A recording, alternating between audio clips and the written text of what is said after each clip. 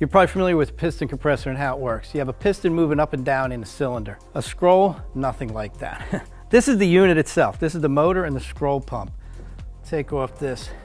So you can see here we have a stationary portion and a movable portion. You have a three kilowatt motor, nice field coil wound in there, runs off of 240 volt, so it's gonna give you all the power that you're ever gonna need. And the rotor, it's connected to our movable portion here of the scroll. You have a large ball bearing back here, a roller and a needle up front. So air comes in through here and is forced around this piece and the stationary piece there and compresses until it gets to the center, where then it's exhausted back into your air tank.